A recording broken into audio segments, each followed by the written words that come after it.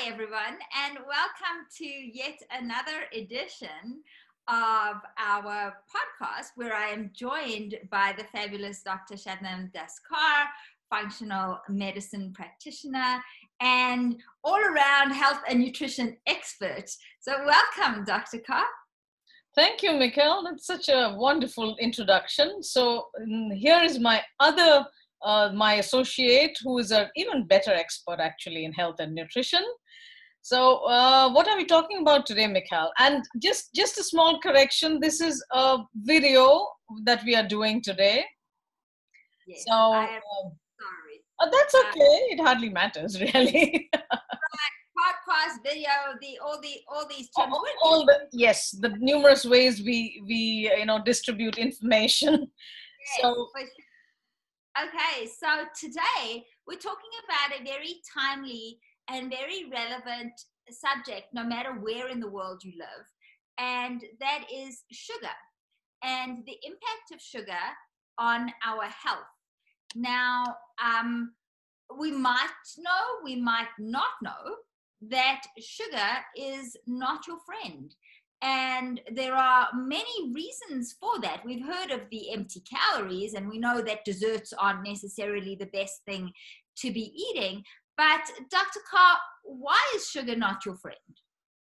okay so uh, sugar is you know essentially because of what sugar contains and i'm just going to share this article which came out recently in the bmj and this is this is an essay by gary taubes and many of you are familiar with gary taubes and his book uh, the case against sugar and before that he had written good calories bad calories and why we get fat three absolutely fantastic books so the problem with sugar is essentially what it contains. So what does sucrose contain?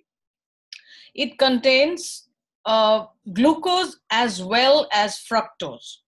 So the problem with with that, and Mikhail can explain it way better than I ever can. So the problem is, as I have highlighted in this article, the um, hypothesis is that sugar has deleterious effects on the human body, independent of its uh, calorific content and that a distinct causal pathway links consumption to disease. So, in simple words, it means the more sugar you eat, the worse your health outcome is. And this goes way beyond the amount of calories that are contained in sugar, because very often you'll find, you know, other sweeteners being called as uh, low calorie sweeteners so that the focus is okay you're not having sugar because it's the calories in the sugar you're causing a problem versus you're taking something which doesn't have as many calories but we now know that the calories alone in sugar are not enough because it is the problem is with the fructose component of sucrose. So uh, in regular sugar mikhail what is the percentage of fructose usually present? So generally, um, it's about half and half. yeah. So in, in regular table sugar, which is made from sugar cane or sugar beets, you have 50% glucose and 50% sucrose. Yeah. So the fructose that uh, that is in the su- sugar, what it does is it goes directly. Primarily, it's metabolized in the liver, and this can lead to accumulation of hepatic fat. That is accumulation of liver fat, and this is what causes all the problems with the sugar. Now, when we talk about you know high fructose corn syrup, the percentage of fructose is just probably just 5% more than regular sugar, right, Mikhail? Yes, it's a, it's a 45, um, 55% ratio, 55% high fructose corn syrup.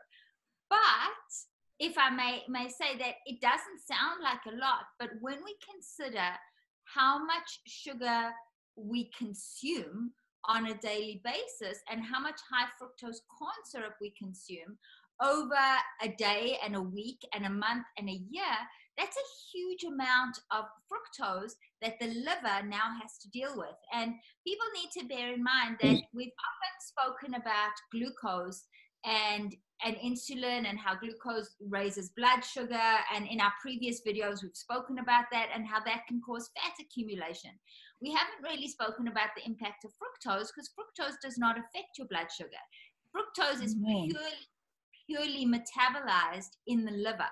So that little bit extra fructose that you're eating every single day over the day and the week and the month of the year really adds up to what to the work the workload on your liver. Yes so to put in simple terms what Michal and i talked so far is the fructose component of the sugar. So sugar is made of glucose and fructose so the fructose component of sugar is the one which causes all the problems because it is metabolized primarily in the liver. And this extra fructose associated with insulin resistance and you know type 2 diabetes and all of that. And insulin resistance to put it very simply is when your hormone insulin the one that your body produces doesn't do its job well.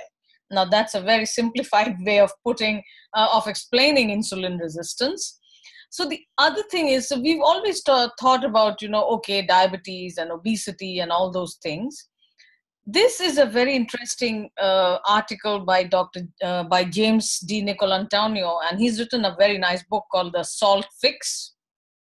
So um, anyway, salt fix is something we'll talk about another day. But the the um, heading here says, "In added sugars drive coronary a heart disease via insulin resistance and hyperinsulinemia, a new paradigm." So coronary heart disease is essentially heart disease where your the arteries to the heart get blocked. So that is the heart disease that we most commonly talk about, and which, if not taken care of, can lead to a heart attack or a myocardial infarction, MI. And that is what is killing a lot of people. So that is, you know, the pathway of how added sugars drive that is through insul- insulin resistance and Hyperinsulinemia is the, in the fancy medical term, to just talk about high insulin. So, high insulin itself causes a whole lot of problems. And this is new information. So, a lot of it has not really been you know distributed out into amongst the medical community a lot of people are not aware of this so insulin is a very very interesting hormone and i'm just getting to know quite a lot about it now so, what is the problem with the high insulin? I'm not going into all the details. Anyone who's interested can, you know, download the study and read it. So, what did they found? They found that now this is the scary part. 73% of patients who presented with an acute MI, that means a, a heart attack, in the hospital uh, they had abnormal glucose tolerance with 50% having diabetes. I mean they didn't know they had diabetes. So 73% is a huge number. And after 6 months 43% still had abnormal glucose tolerance. So they were still more prone to diabetes and all these things and the other part which i have highlighted is you know the relationship of insulin with cardiovascular disease that means heart disease and stroke which is independent of lipids, blood pressure, and blood sugar. Now, many of you are very concerned about the cholesterol and what your cholesterol levels are, and the good cholesterol and bad cholesterol, and all of that. But in this particular study, they found that the relationship of insulin was way more significant than whatever your cholesterol levels was, whatever your blood pressure was, and blood sugar. And lipids, blood pressure, blood sugar are all risk factors for heart disease. I hope I haven't made it sound too complicated. So, Michal, what would you like to add to that?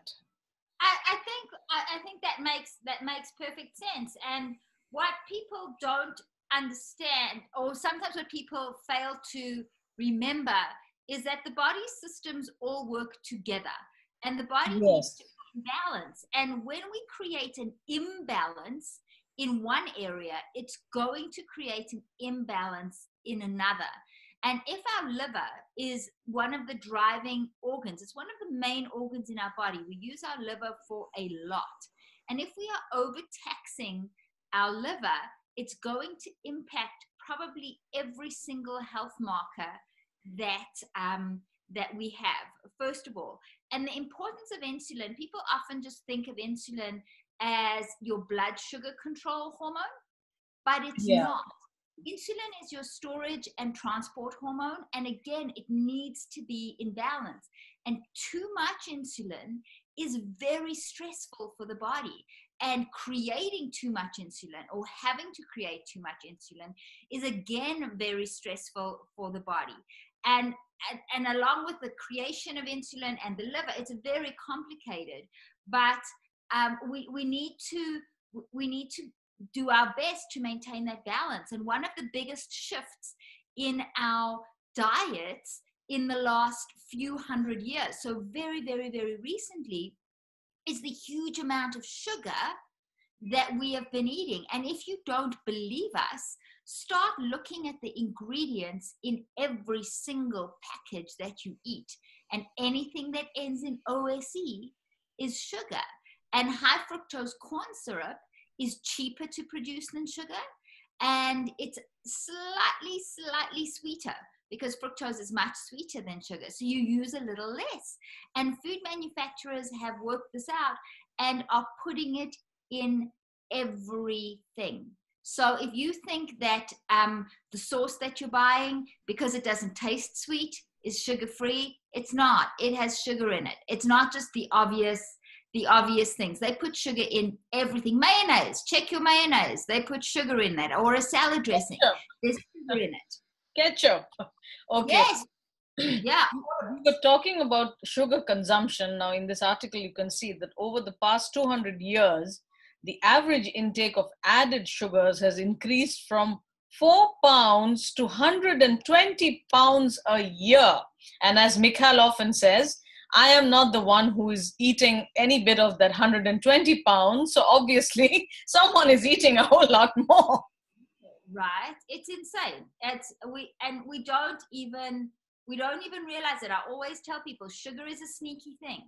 And just by looking on the nutrition label it doesn't tell us what is in our what is in our food so it's really important to be reading to be reading ingredients and i think um, uh, if people have joined our program then there will be a list of all the different names for sugar that they put in. Oh yes, and there are so many different names for sugar. So, uh, Mikhail, you brought up the you know the addictive uh, you know um, capacity of sugar. So, uh, would you like to highlight some of that?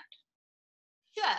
So they've done they've done studies on on why why we continue to or our drive to eat sugar and what they have found is that sugar itself, so the taste of the taste of something sweet, um, it stimulates what we call a dopamine response, which is your reward response. It makes you feel good.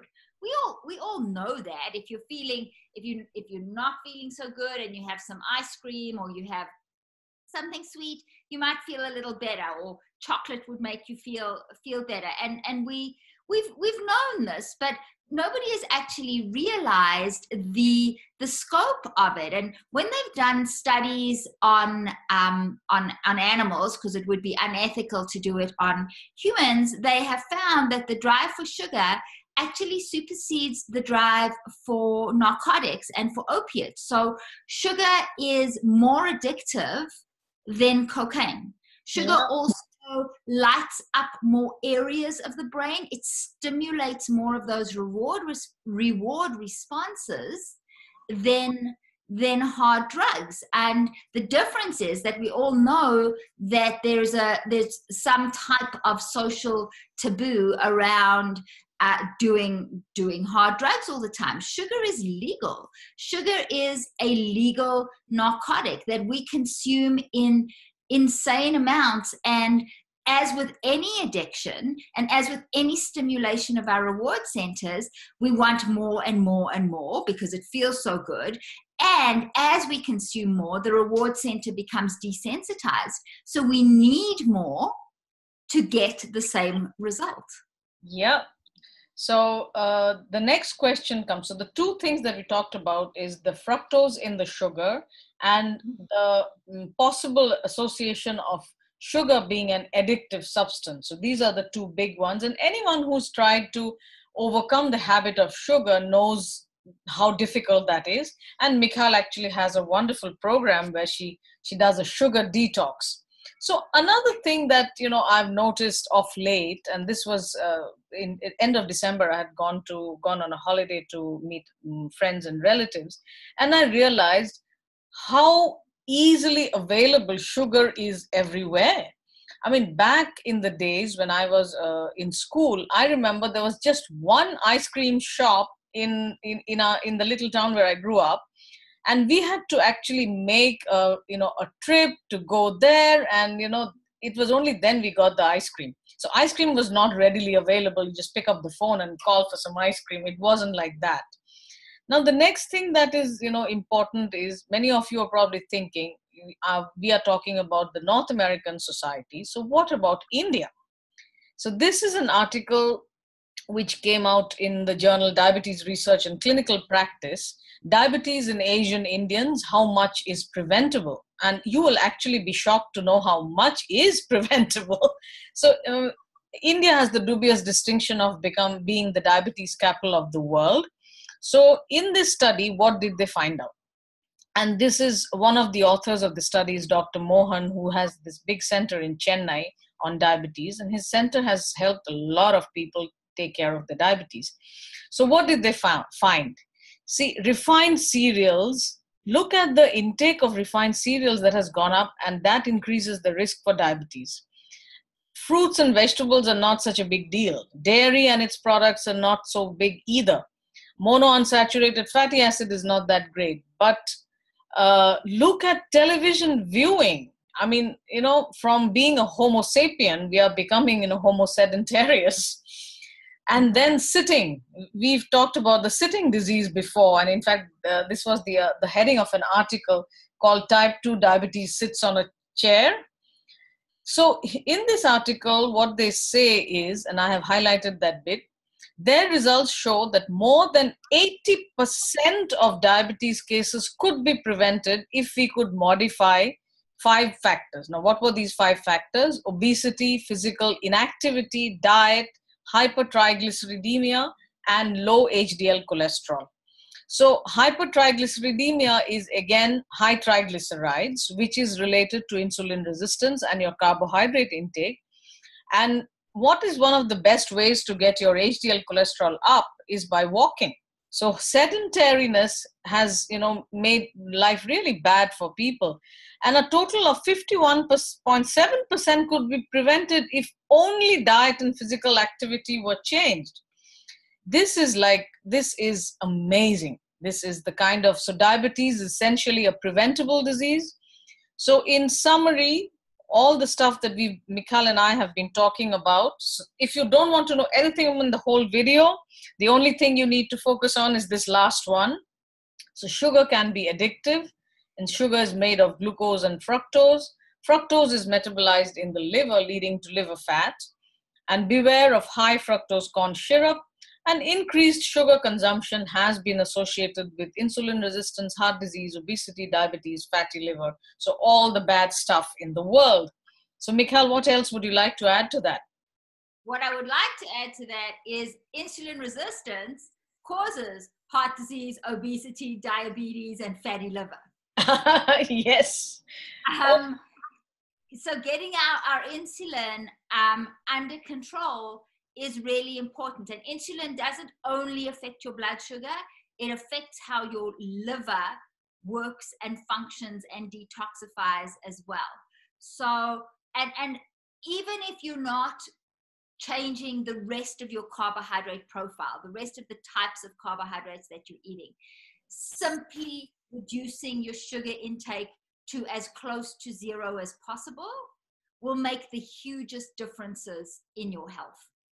Absolutely. And two of the major things that I forgot to add to this long list is one is mental health and this was a study done a years a few years ago with the uh, called the whitehall 2 cohort and i'm not going into the study but increased sugar consumption is associated with worse mental health and the other major thing is dementia alzheimer's disease so two of the major ones i left out on that list by mistake because it's like everything is related to everything else exactly and i think doing something about sugar and um, and disease is a whole different video. This at the point of us talking to you today was to explain that sugar is not your friend.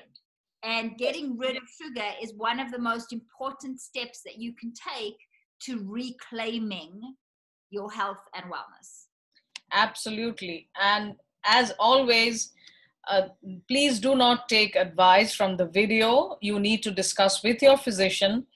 And um, bye now. Until next time. Thanks for listening. We'll see you soon.